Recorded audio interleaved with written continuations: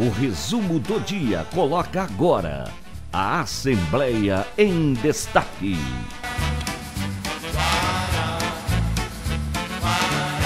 A CPI ouviu hoje dois engenheiros que trabalharam diretamente nas obras da Copa em Cuiabá. João Paulo e Marcelo de Oliveira. O engenheiro João Paulo foi responsável pela Arena Pantanal.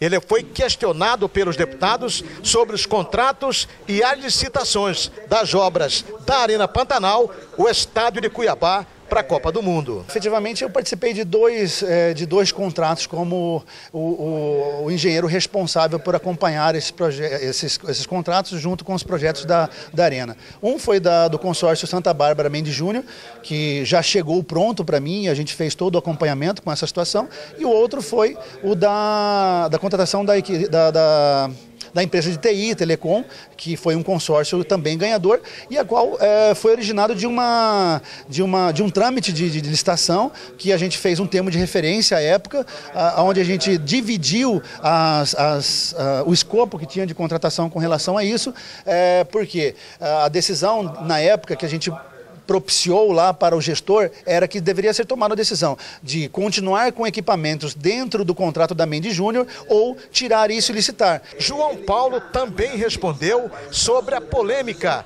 da compra das cadeiras para a Arena Pantanal. A participação minha na cadeira foi sempre, é, no processo de licitação da cadeira, foi sempre de cunho técnico. A minha participação acabou sendo que eu fiquei conhecido por ter pulado em cima da cadeira e isso acabou é, dando essa, esse cunho. Já Marcelo de Oliveira, que deixou a Secopa em 2012 para assumir a Secretaria de Obras da Prefeitura de Cuiabá, na gestão de Mauro Mendes, começou a entrevista falando se houve ou não sobrepreço nas obras da Copa aqui em Cuiabá. Todas aquelas obras que eu estive presente, eu não acredito que teve sobrepreço. Primeiro que eu tinha a auditoria do Estado de Mato Grosso colada, trabalhando junto, concomitante junto com a gente.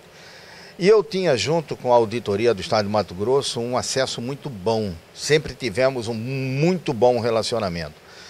Todas as nossas obras eram passava pelo crivo, todos os nossos termos de referência passava pelo crivo e aprovação da auditoria.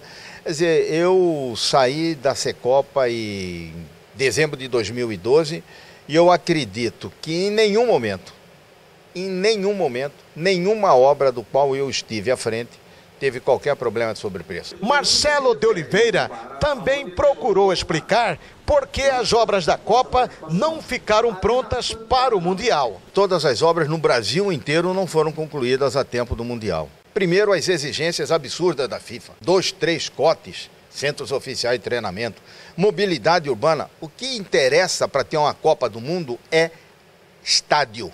Se as pessoas do mundo vêm aqui, passam um, dois dias na cidade vendo os jogos da Copa do Mundo e sem nenhum problema, o VLT não concluiu, o BRT não existiu, não sei o que, nada existiu.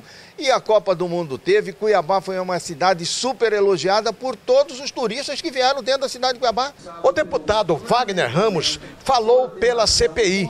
Ele fez uma avaliação dos depoimentos que foram realizados. Os depoimentos houve muitas verdades, mas houve também omissões. Então, não mentiram, mas omitiram de citar ou de responsabilizar talvez o medo, a preocupação de incriminar alguém mais ainda, né? Então, essa que é a preocupação que eu acredito que os depoentes devem ter, né?